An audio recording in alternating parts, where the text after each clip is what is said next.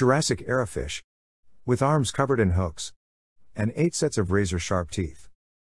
Marine biologists have discovered a spine chilling new species of brittle star deep in the South Pacific. The creature, dubbed Ophiojura exbodi, has eight 4 inch appendages, each covered in rows of sharp spines. Experts say it's almost unheard of for brittle stars to have eight arms. Even more daunting than its appendages, though, are its teeth eight rows of razor sharp chompers. They believe Ophiojura, hidden away on an underwater mountain, has remained essentially unchanged for 180 million years, since the early Jurassic period.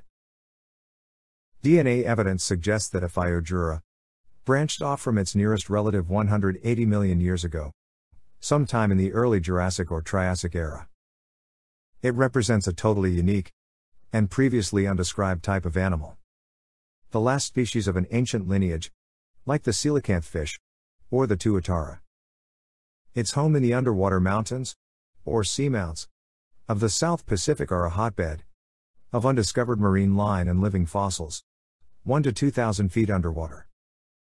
Currents swirl around them, bringing nutrients from the depths, or trapping plankton from above, which feeds the growth of spectacular fan corals, sea whips, and glass sponges.